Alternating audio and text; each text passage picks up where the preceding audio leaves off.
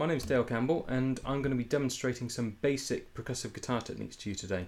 Now these should just be viewed as a stepping stone to moving on to more complicated techniques where you're going to be crossing of your hands, um, doing some tapping on the fretboard, that kind of thing.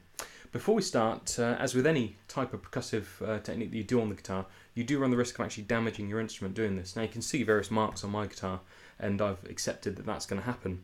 But you can crack the top of your soundboard if you're not careful. Um, I've had reinforcements put in under the top of the soundboard just here uh, in order to actually counteract some of the bashing that I do on there. But um, if you're going to be doing this a lot, you might want to look into ways of reinforcing it or just be very careful and don't hit it too hard.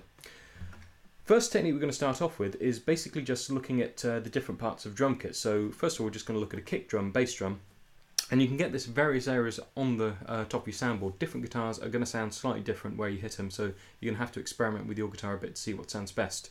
I tend to go for something around here most of the time, and you can get quite a convincing kick drum sound just here, just above the sound hole, or just here, actually on the um, bridge of the guitar, the saddle of the guitar just there. You have to be a bit careful just here because some um, pieces, uh, saddle pieces just here, are actually quite sharp on their edges, so you can hurt your hand a bit uh, on the wrist if you do that too much. Um, also, the um, nut piece, uh, sorry, saddle piece just here is actually on some guitars quite sharp. So if you do that quite a lot, you're going to end up with uh, maybe little cuts, little bruises. So either, if you're uh, daring, take a bit of sandpaper to your guitar and just sand that down, make it a bit smooth. This guitar, as it happens, has a nice smooth saddle and bridge just there, so it doesn't really hurt my hand when I do that. The other place that you can get a kick drum is down the bottom of the guitar just here, or actually on the top just here. So you get something like this or something like this.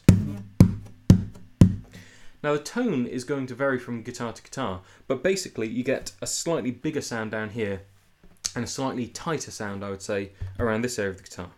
Now the next part of the drum kit we're going to look at is snare drum type sound. Now there are lots of areas on the guitar where you'll get a, a really snappy kind of snare drum sound. Around the bottom of the sound hole just here on top of the soundboard, you're going to get quite a good one.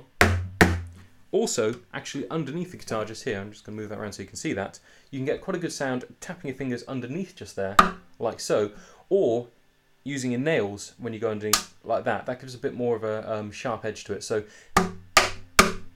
with your fingers or with your nails. I tend to use my fingers just there, mainly because um, at gigs I really go for it and I tend to break my nails if I'm not careful with that and they just snap straight across um, the end of the nail and then whenever you come to play, you're going to be finding it very difficult to actually um, hit the right notes if your nails aren't there. So I tend to go for my fingers, but nails you can get a bit brighter sound. Now you can get other snare drum sounds with your left hand and indeed with your right hand in different places. Those are just the main ones that I use. So have an experiment around and like I said at the beginning, it's going to vary from guitar to guitar. So you might find something that sounds great on your guitar that doesn't actually work on anyone else's. Now the next sound we're going to look at is actually a, a cymbal type sound which is hi-hat you can't really simulate um, the sound of uh, a brass hi hat on a guitar, but you can give a tiny bit of the sound of a hi hat just opening and closing by clicking the strings down against the end fret just here. Now I happen to have a pickup in the sound hole just here, so the strings when I push them down actually click against the pickup. But um, if you don't have that, it'll just click against the end fret just there. Now that sound sounds a bit like this. And that can also um, work as a snare drum replacement. And we'll talk a bit about how to um, arrange songs using this technique later on. But suffice to say, that will work as a hi hat sound or as a snare drum sound. Now, if we just put each of those together in order, so we get uh, bass drum just there, snare drum just there, and a hi hat just there. And if we um, reverse that a bit so that we get um, something like hi hat, snare drum, bass, like that, or even bass drum, hi hat, snare drum. Now, the bass drum, hi hat, snare drum is actually a very, very popular drum beat. You're going to hear it in songs like um, Billie Jean, uh, Gnarls Barkley's Crazy.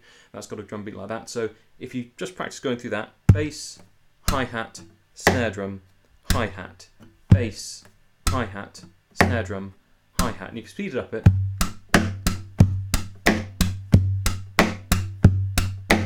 It's fairly effective. Now, obviously, in those songs, you have a chord part happening as well. And we're going to look at putting a bit of a chord part in later on in the lesson. There are various different um, ways that you can twist that around a bit. So, right in the middle, where you have the hi hat sound, you can actually double up the hi hat. So, if you could go. Or you could even double up bass drum. So, you get.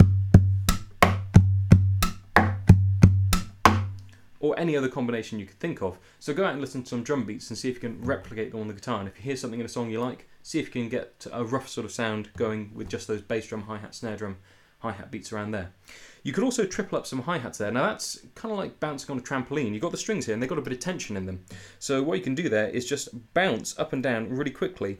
And it's a bit difficult to explain, but you bring your hand down and you hold quite a lot of tension in your hand as you come down and it just bounces on the strings and bounces them therefore against the bottom fret or the pickup just here. So like that, you just get a sort of noise. So if you um, work that into the rhythm that we had a second ago, bass drum, hi-hat, snare drum, hi-hat, you get something like this.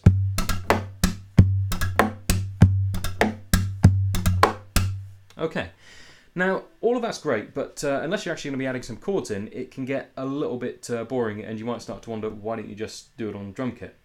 What you can do is as you come down to do a bass drum hit, if you're doing it somewhere around here, obviously you can't do it if you're doing it down here, if you're doing it somewhere around here, you can flick your fingers out as you come down, so it's kind of an explosion on the guitar. As you come down, your hand hits the soundboard just there, your fingers shoot out and strum the strings, so you get a hit and a strum at the same time. Something like this, um, I'm going to be playing a C minor chord in third position here, but you could just try this with open strings to start with. Okay, now that hit is actually the beginning of um, Gnarls Barkley's Crazy, and if you went through the whole chord sequence, you'd actually find that um, you can mostly get the chords in the right places and play the drum beat at the same time. So you get something like.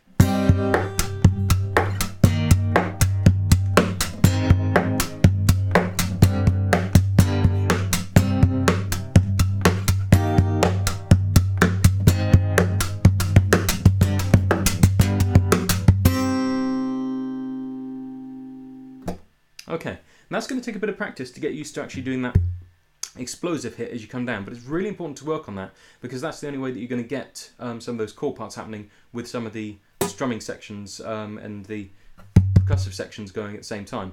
So working on just those simple beats to start with, and then moving on to doing just some basic strumming, you can have the um, strings open as you do it, or you could mute the strings just with your left hand